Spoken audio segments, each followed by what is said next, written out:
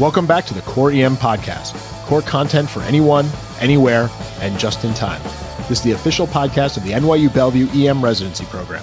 I'm Anand Swaminathan, and I've got Meghan Spyres back on for another segment. Meghan, welcome back. Thanks, Swami. Great to be here. All right, Meghan, let's dive right on into this topic. Uh, let's go real basic. What when we say toxic alcohols, what are we talking about? When we talk about toxic alcohols, we're really referring to two big ones, which are ethylene glycol and methanol.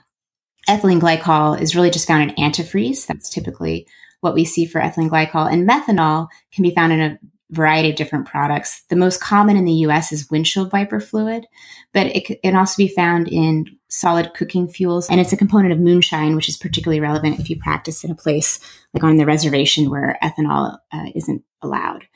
It's also a component in model car or racing car fuel. And there were a couple deaths in some teenagers recently in Tennessee who mixed this with Mountain Dew into something called Dewshine. And unfortunately, they, they didn't do well. The other one that people talk about is isopropyl alcohol, which can be found in rubbing alcohol and hand sanitizers. And of the three, it's the most intoxicating. So it might be the one that people most commonly drink uh, in order to become inebriated if they can't get their hands on ethanol. Its metabolite is acetone, which causes ketosis without acidosis. So, although it can result in a hemorrhagic gastritis, it really doesn't cause a lot of systemic toxicity. So, we don't consider it the same as ethylene glycol and methanol. So, the big two that we're going to be worried about in the ED are the ethylene glycol and the methanol, as you mentioned. And I think it's important for us to note that the ethylene glycol itself and the methanol itself are not toxic. So, the parent compound, not that toxic. It's the metabolites that we get worried about. We're going to dive more into that later on in the podcast, but just something to make sure everyone's clear on. Now, the two things that we talked about offline that I think are very interesting and good things for us to know is that in kids, ethylene glycol, even methanol, you can sometimes get these accidental exposures. So the kid is exploring, they try a little bit by mistake, parent finds them, and then they get worked up.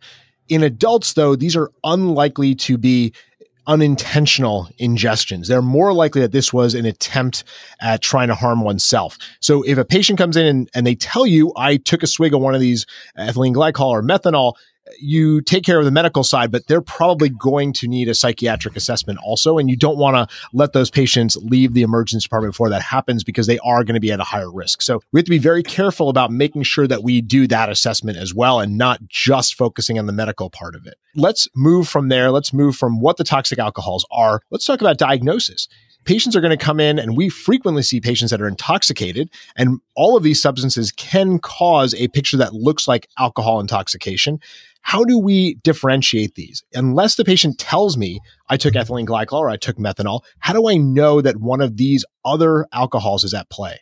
Yeah, that's certainly true. The if you have a high clinical suspicion or a history that's that's pretty telling, you know, you're going to certainly rely on that. But in the absence of that, we really have to look at labs for this diagnosis. The two main labs we're looking for is an OSM gap and then the anion gap metabolic acidosis.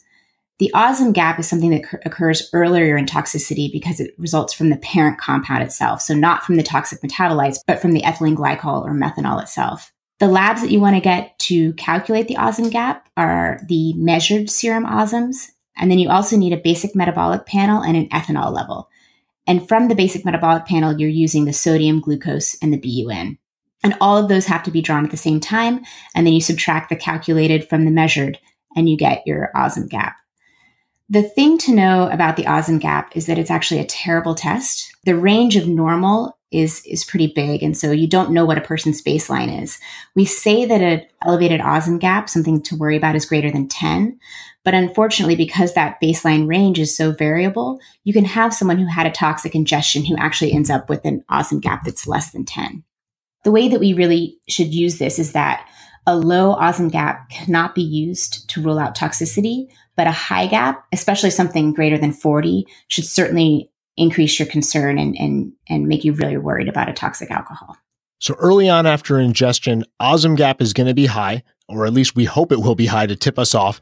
A normal OSM gap is non-sensitive. It doesn't rule out the disease, but a high OSM gap virtually rules this disease in, and we should be very concerned in that. So it's very specific, not very sensitive. And again, the size of that OSM gap is really going to depend on how soon after their ingestion they present to the emergency department, how soon after that ingestion you're getting your blood work sent off. Because as every minute passes, your body is metabolizing some of this. And as it metabolizes, the OSM gap is going to come down. So OSM gap high early on. And then you mentioned the anion gap metabolic acidosis. Let's move to that. How does that form and when should we expect to see it? So the anion gap occurs, as you mentioned, as you're metabolizing the parent compounds. So for ethylene glycol, you're developing glycolic acid and oxalic acid are two of the main uh, toxic metabolites. And the glycolic acid is really what's responsible for the metabolic acidosis. And then as far as methanol goes, it's formic acid. So as your OSM gap is falling, your anion gap uh, is rising from those toxic metabolites. The other lab finding, which you would love to have, but unfortunately are really not ever going to get in the ER, is the level. So you would love to have an uh, ethylene glycol level or a methanol level, but that's really not something that's available unless you have a fancy tox lab in your emergency department. One test that is available in some EDs is a volatile panel. And I just want to caution you in, in knowing that the volatile panel does test for methanol and isopropyl alcohol, but it does not test for ethylene glycol. So again, not really that helpful in ruling out a toxic alcohol ingestion. So very similar to the OSM gap. If it's positive, if you get that volatile panel, you have it, you use it, and it's positive for methanol, that's great. If it's negative for everything, ethylene glycol is still out there as a possibility.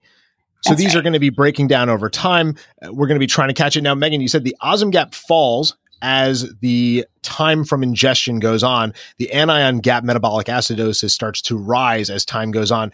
Is there some magic point where both of these are normal and we're just screwed if we happen to get the labs at that point? Yeah, I suppose that that, that could happen. I haven't in personally theory. experienced that. Yeah, but um, okay, but in theory, good.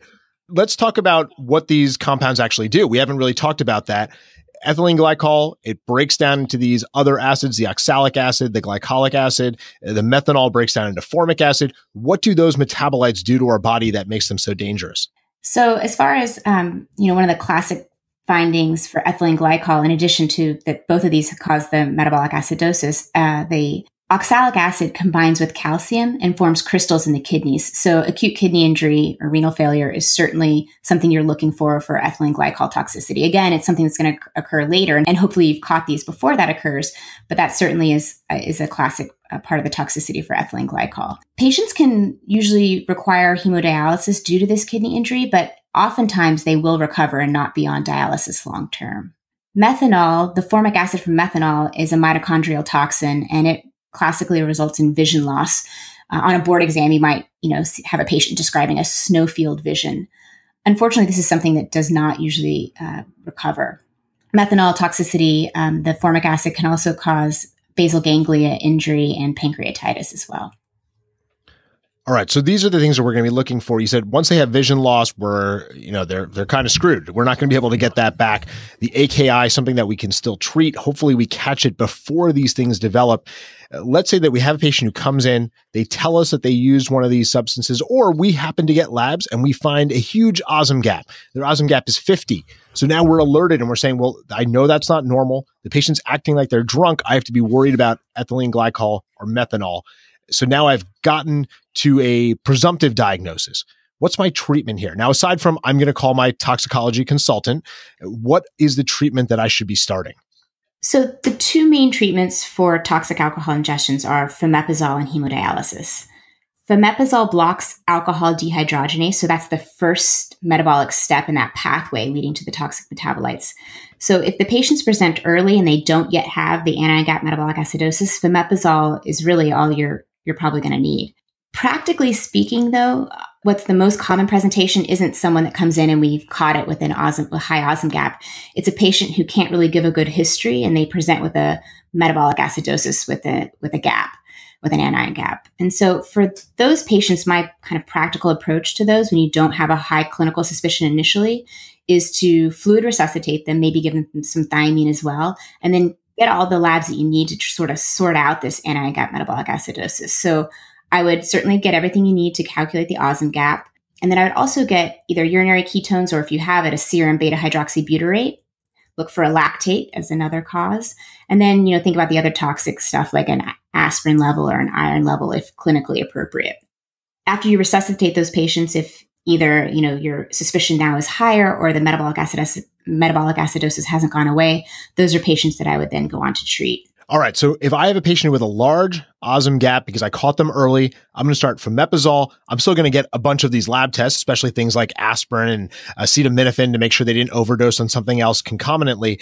But fomepizole might be enough to stop the transformation of the toxic alcohol into the metabolites that are going to cause damage. And I might be able to save the patient that way. More likely is that I'm going to get some labs. I'm going to find this metabolic acidosis with an anion gap. And I'm going to go through either my mud piles or my cult or whatever mnemonic you are using to figure this out. And I'm going to serially eliminate each of these things.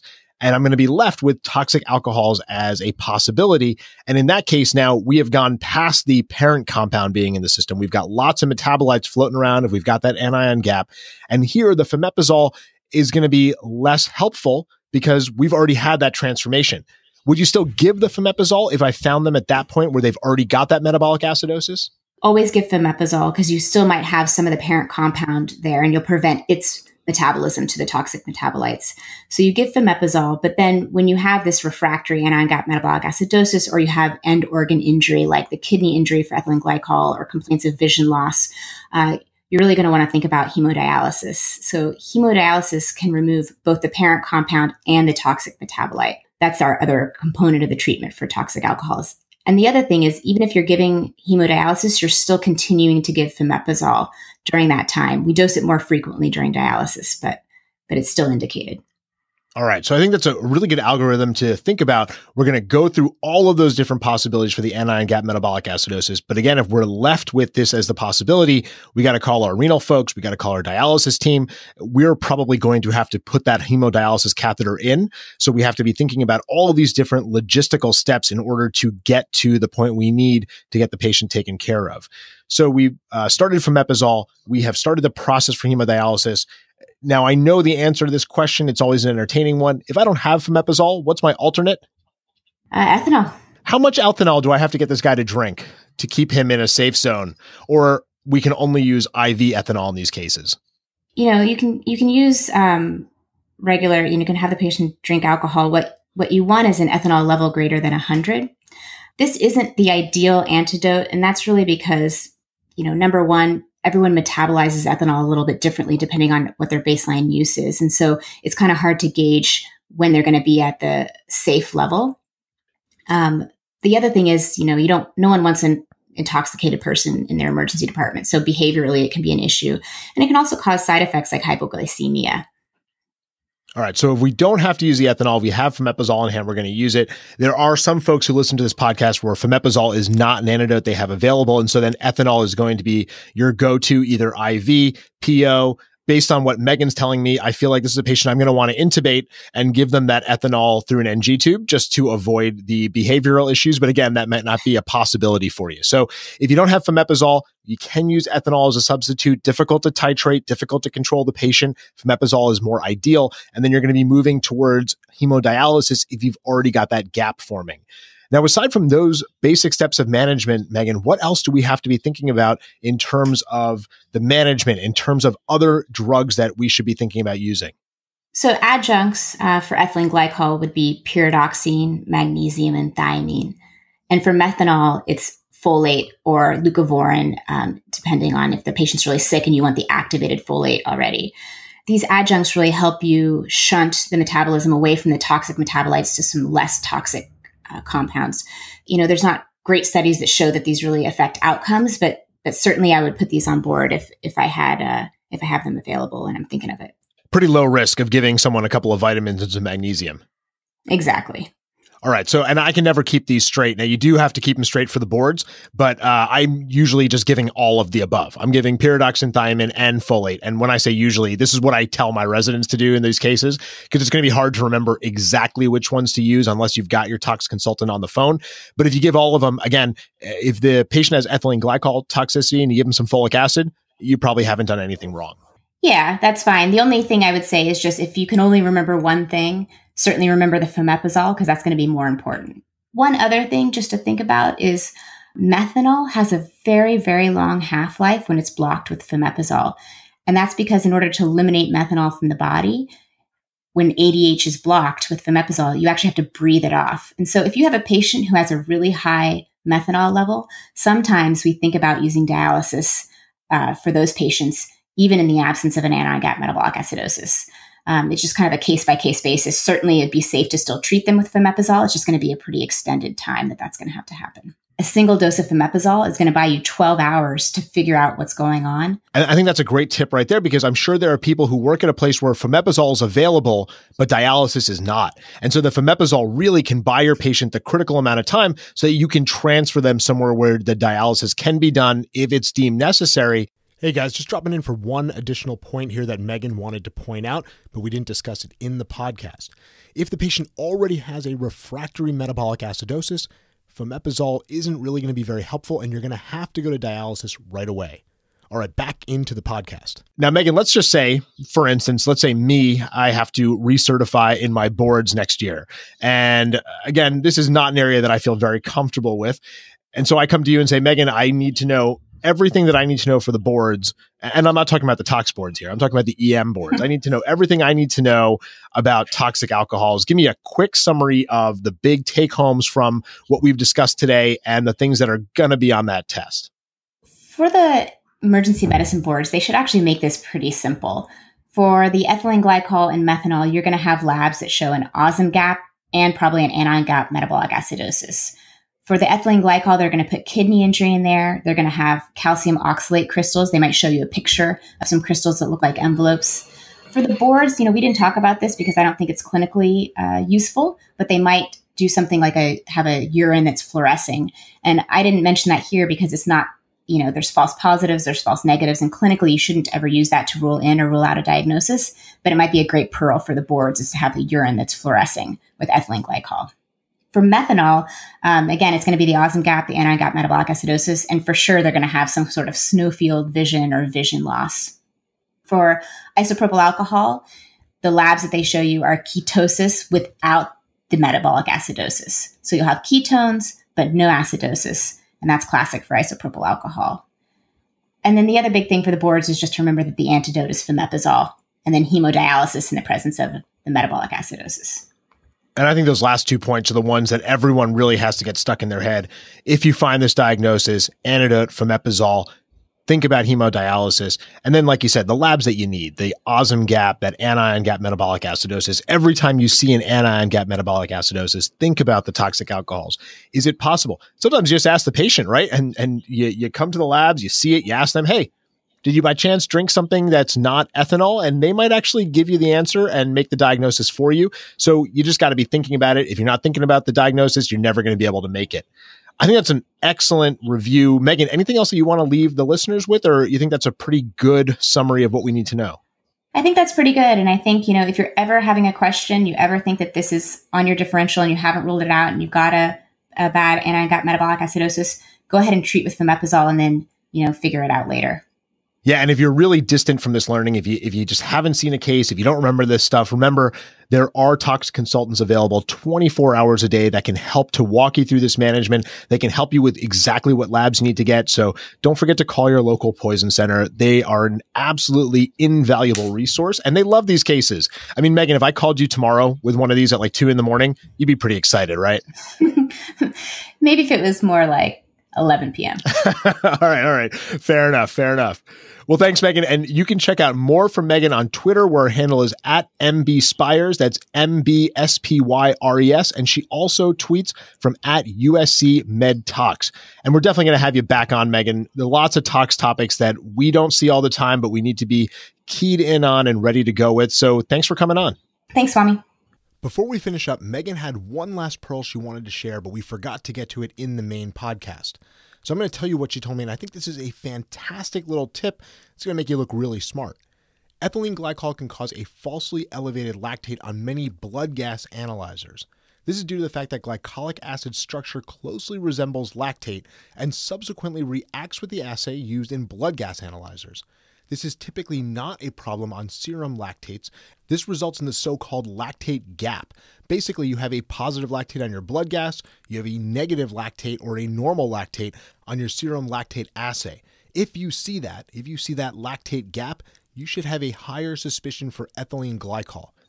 That's all for the Core EM podcast this week. Come on over and check out the site at coreem.net. We've got a ton of great core content emergency medicine. We'll have a core post up on Wednesday and a journal update up on Thursday. Don't forget to check out our Facebook page, follow us on Google Plus, and on Twitter where our handle is at core underscore EM. Thanks, and see you all next week.